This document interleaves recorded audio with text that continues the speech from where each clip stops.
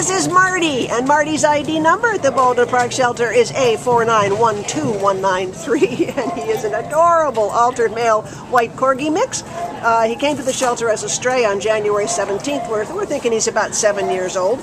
Uh, he is from Hacienda, was found in Hacienda Heights, and he weighs a little under 10 pounds, and he's so adorable. He's got a nice little collar on, so somebody's missing this guy. If this is your boy, please come and get him. He's uh, he's been at the shelter since the 18th, which is uh, too long. But this is a great dog. He's good on leash. He likes other dogs. He likes to be in your lap. He's just friendly, friendly, friendly. Uh, he could use a little teeth cleaning, apparently. He's got some uh, uh, pretty built up tartar. And as you can see, he's got a little cleft lip but uh, not stopping him. He's just Mr. Sweetie. What else can you tell us, Kristen? You know, he's very kissy. He loves yeah. to just climb in your lap and start giving you kisses. Yeah. He's adorable. And he, he gets along with other dogs. He, he was in the kennel with other guys.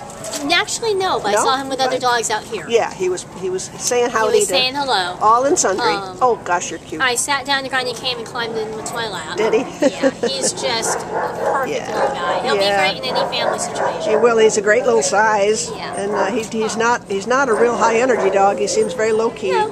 Very very sweet.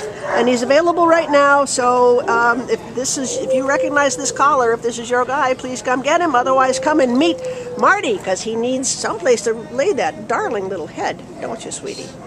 Okay, Marty, be good boy.